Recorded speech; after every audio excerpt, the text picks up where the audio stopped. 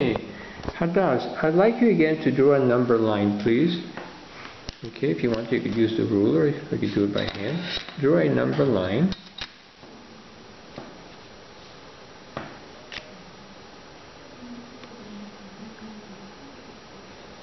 And select the point zero, where you want zero to be. Okay, good. Now, this problem wants you to find the point three-fourths. So, what do you want the whole to be? How many segments do you want to represent the whole? Four. Four. Okay, why don't you do that? Show me where the number, first of all, label that as zero. Where's the number one? Here. Here. Okay, label that as number one underneath. And where's the number two? Here. Okay. Now the problem wants you to find the point three-fourths here. Why don't you use this green marker? Show me where the point three-fourths would be. Here. Okay. And then make it, okay, good. And use the marker to call it three-fourths.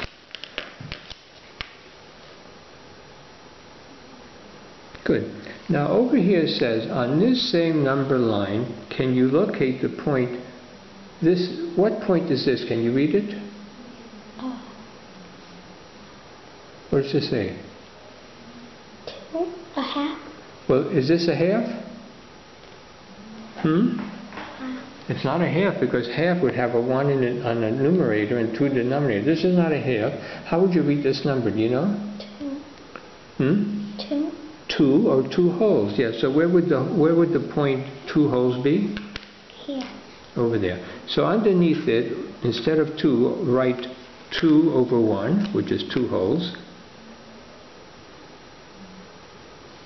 Okay, and over here write 2 equals 2 over 1. 2 is the same as 2 wholes, right? Yeah. Okay, now can you tell me where the point, where this point would be? What is the name of this point? Five fifths. Wow, where would you find five fifths? It's one whole. Wow, how did you know that? Because five fifths is a whole because Wow, that, I think that was a tricky problem. Okay, put five fifths over here.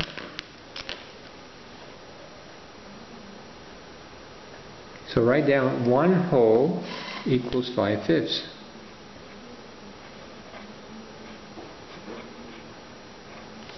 Wow, I think some kids are going to think that's tricky. They're going to say, hey, there's no fifths there. But you did it. It wasn't a trick for you.